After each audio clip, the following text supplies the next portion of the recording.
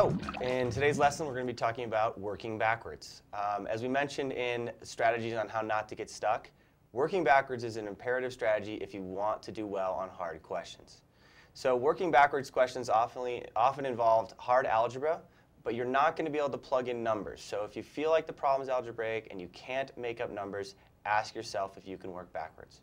The approach is fairly simple. This is the old plug and chug strategy. We're going to be plugging in an answer choice. We're going to start with answer choice C, and we're going to see if that answer works. If it does, we're done, and oftentimes it is C. If it doesn't, then we're going to go on and try A or B or D or E. So really, there's only three essential steps to working backwards. Number one, you're going to try answer choice C first. Again, most of the answers are most answer choices are labeled in least to greatest, so trying C will give you a good idea of where you should go from there. If C seems too big, generally you want to try A or B. If C seems too small, generally you're going to try D or E. And, then, and that's actually step two, is just making the move to either A or B or to D or E. And lastly, whatever answer satisfies the, the criteria is the right choice. So you really don't have to do too much work. Once you've found the right answer you, and it's worked for the question, you're good.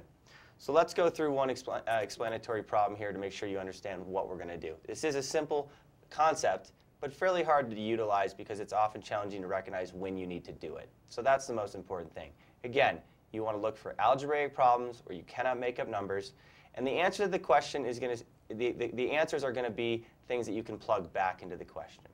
So this question says, is the sum of three consecutive multiples of 3 is 45? What is the smallest of these numbers? So we're going to try choice C, 15. If we do, and we add 15 plus 18 plus 21, we get 54.